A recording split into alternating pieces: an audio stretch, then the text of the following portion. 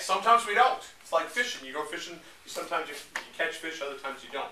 The way I do it with my wife and my three kids, we just walk around and we find a bone. Uh, we never just dig a hole, like think, oh, but there's bones down there. You have to see a bone sticking out of the ground, or we'll walk next to a hillside. And the bones, when they weather, you know, when the water kind of erodes them out, they kind of pile up in little chunks. And we'll follow that back up to dig into the, into the side of the hill.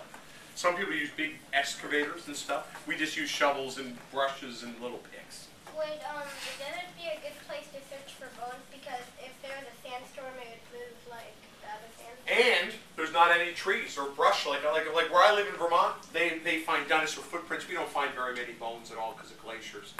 But there's there's ferns. There's stuff you never just see the ground. It's really really hard because there's so many plants. But like in Wyoming now, they've had a drought for like 20 years. So there's hardly any stuff to, you know, between you and the ground, and it's easy to find. Do you have to be very careful when you dig up um, bones? Yeah, you do. And I tell you the truth, my kids are much more careful than I am.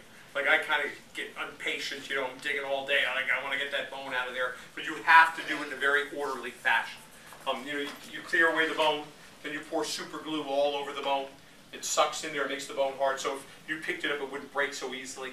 Then you put tin foil on top of that, and you you wrap plaster around the top half of the bone. And you flip the bone over, you do the same thing to the other side.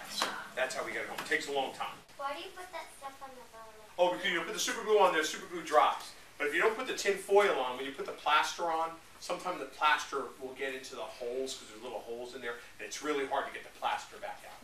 So you cover the bone in tin foil so the plaster doesn't get in there.